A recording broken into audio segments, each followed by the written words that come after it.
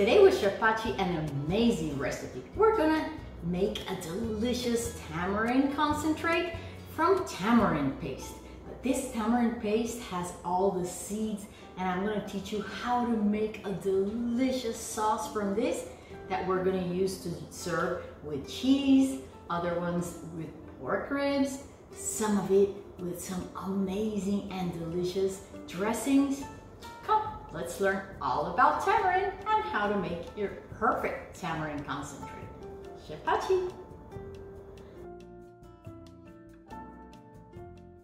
So these are the type of tamarind pulps that I use. Ones that come with seeds. We're gonna open them up and place them in a pot.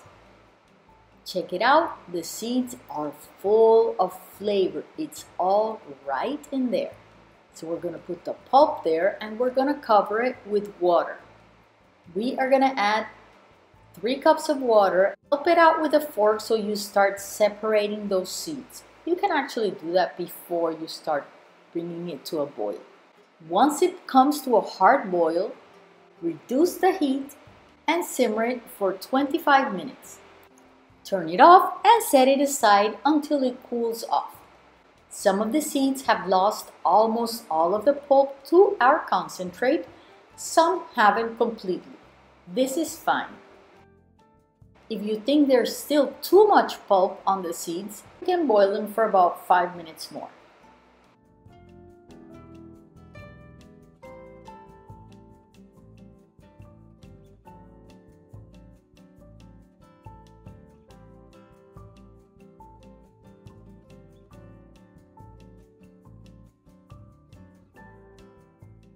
Check it out after it's completely cool, how it has thickened and even the color has changed.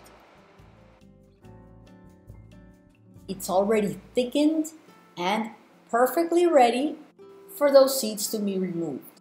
If you have a tomato pulper, it, this works great. Otherwise, just a spoon or a fork and then your hands, everything helps to get this pulp out and try to use the sieve or colander with the largest holes. This is gonna be fast forward about 10 minutes, but once you've gone through this, you're done. Check it out, it's an amazing tamarind pulp that you can use for many recipes. It's beautiful. You can freeze it right now, you can refrigerate it, or you can use it. We're gonna use all the seeds that are left over and add some extra water because I'm gonna use these to cook some ribs. And you can use this to make juice. Tamarind juice is delicious. You sweeten it with a little honey, maybe add some ginger, and it is absolutely divine. Now from this pulp, we're gonna get approximately three cups of sauce, concentrated tamarind sauce. It depends on how much water you added at the beginning and it's not something that has to be perfectly exact. Check it out. It's beautiful. I store it. We can make ribs or some sauces for beautiful brie cheese and other foods. Now we're gonna make a barbecue sauce for those beautiful ribs and I'm using a cup of tamarind pulp to a cup of sugar. And it seems like a lot, but that tamarind pulp is very acid. Now we add a tablespoonful and a half of grated ginger. This one I have it frozen, like I've taught you on other videos. And once you heat it up to melt the sugar, it's done. We're gonna add some spices to it. The spices, you can add them ground. I have them whole here for the video. We have some star anise, some white peppercorns because we want it to be strong and spicy, and a cardamom seed. For a more subtle spice flavor, you leave the seeds whole like I have. And as the sauce cools, it absorbs them. If you wanted a bold and spicy taste, go ahead and grind them before adding them. So we get about a quarter and a cup of tamarind barbecue sauce from this recipe. It keeps refrigerated for two to three weeks.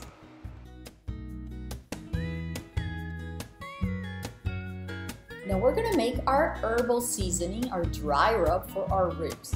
And I added a tablespoonful of herbs down there, a tablespoonful of salt, and three tablespoons of coconut sugar. And now I'm gonna add two extra tablespoons of my dry herbs, which I added at the beginning. And these ones have thyme, oregano, lemongrass, and rosemary. This is a mix of everything I have at home.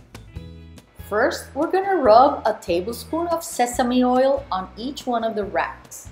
This is gonna give it a particularly good taste with the tamarind. Then we add some of the seasonings on top of each one of the rib racks. Fill it up with lots of seasonings because these rib racks are very thick and they feed about six to eight people. Put them one on top of the other so you can season them on both sides. Turn them into wheels and place them in the pot of a pressure cooker or an Instapot. Now we're ready to store them overnight or cook them. Flavor will be more intense if you store them. We're gonna add that tamarind juice that we had left over from cooking the pulp. Check it out, it's beautiful we close it and 50 minutes later, we have tender to the bone ribs. Absolutely delicious.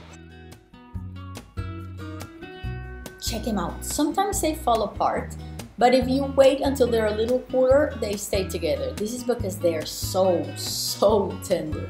Now, we're gonna put them in a baking pan and we're gonna add some of the delicious barbecue sauce that we did Look at this. It is so tender. Oh my god, I could eat them right then and there. If you want to remove the fat from this cooking liquid, which you can use for any stock, for making rice or anything else, just use one of these cups, remove the fat, and you're ready to go. Now, we're gonna add our barbecue sauce to our ribs.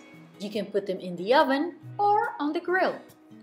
Put your oven at 450 degrees and once it's very hot, just put your ribs there so that the barbecue sauce darkens up a little bit and reheat your ribs. You're ready to go. It can be five minutes. Check out this brie with a delicious tamarind sauce and our ribs. Enjoy Chef Pachi, delicious food, amazing mood. Chef Pachi.